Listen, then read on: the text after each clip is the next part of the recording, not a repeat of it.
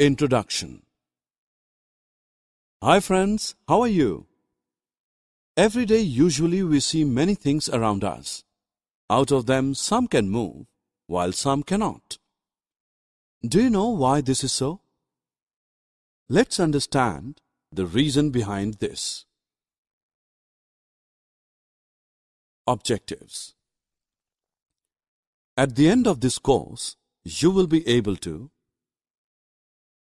Identify living and non-living things.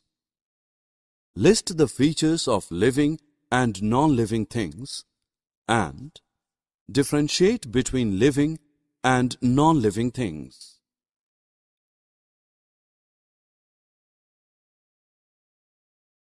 Dear students, actually we all are surrounded by two kinds of things, living and non-living things. All the animals and plants are examples of living things.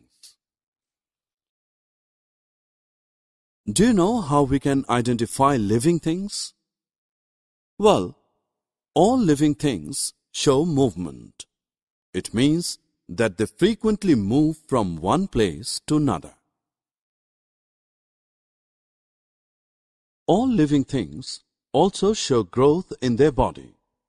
They eat food for their growth and living.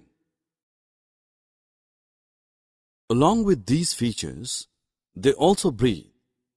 They can feel and are sensitive to their surroundings. They all have the ability to produce young ones of their own. This is called reproduction. Hey friends, now let's know about non-living things.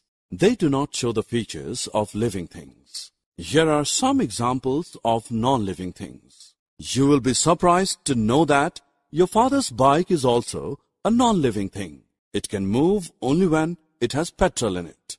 Like living things, all non-living things do not show growth or reproduction.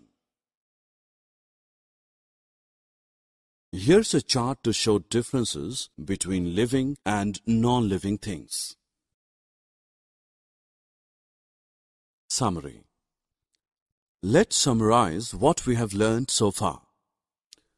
We all are surrounded by living and non-living things.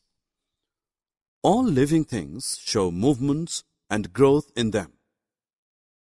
All living things intake food for their growth and energy. All living things breathe.